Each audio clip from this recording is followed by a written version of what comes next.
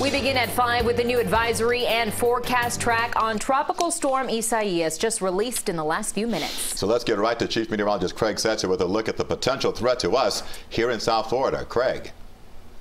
So, guys, I don't think we've got a lot of good news in this new advisory, unfortunately. One of the things that we were kind of hopeful for was that the storm would go across the mountainous part of Hispaniola there, but it has kind of skirted around it. It looks like it's a bit disrupted, but the pressure is falling. That's an indication of a strengthening storm, although the wind's uh, basically steady at 60 miles an hour. So far, we haven't seen any weakening.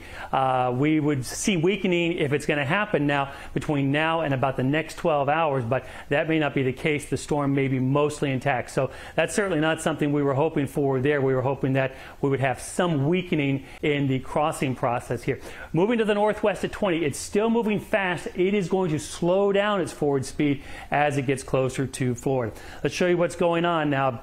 There are tropical storm watches for much of the east coast of Florida. They haven't popped up yet. That usually comes up a little bit slower in the advisory package, so we'll have that for you where the exact watches and warnings are. But now, basically, Miami Dade and Broward under a tropical storm watch for the possibility of tropical weather conditions, tropical storm conditions here in Miami-Dade and Broward. Uh, the Keys not in it. The starting line is Ocean Reef North up the uh, east coast of Florida there to the Sebastian Inlet.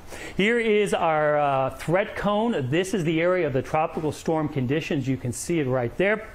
And uh, there is just an update coming in, and I'm going to grab that real quickly because I did have a question now uh, with us not seeing any hurricane warnings issued. Well, that's just the that's just the, uh, the package there. I'll explain why in just a second. So here's where we are right now. There are the tropical storm conditions, and then here is the future track. Now the cone shows where the center is expected to be, but the storm is much, much bigger than the cone. So all of this yellow area here is tropical storm conditions. This is later tonight. This is 2 a.m. Uh, tonight, tomorrow morning. And then after that, there's our next forecast points. 2 p.m. tomorrow afternoon, forecast to be a tropical storm. But look at this right here. Forecast now to be Category 1 hurricane.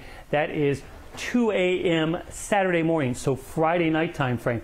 In fact, our graphic here that red area, that is the indication of the hurricane condition area. It's not all around the storm, it's just confined near the center here. Then as we go forward into time, now we're into Saturday afternoon. This is around the 2 p.m. time frame. So basically just abeam of us, and there is that hurricane condition threat area out there, tropical storm conditions right up under the Florida coast.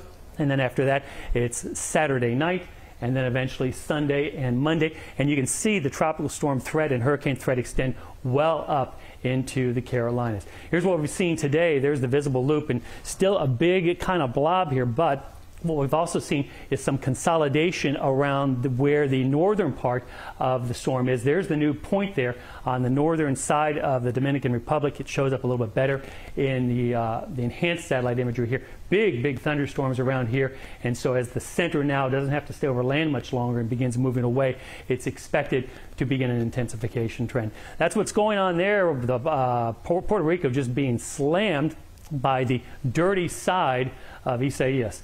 Now, here's what we're still thinking tropical storm here in South Florida, and our preps haven't changed. Check flashlights, generators, wind issues, secure anything that can be blown around. This should be done by sunset tomorrow night. Still, I think it's a good idea to check shutters because I think by tomorrow morning, with a few more runs of the computer models, we'll know exactly how close this is going to be to South Florida, but it's going to be pretty, pretty close. More on that in our forecast coming up.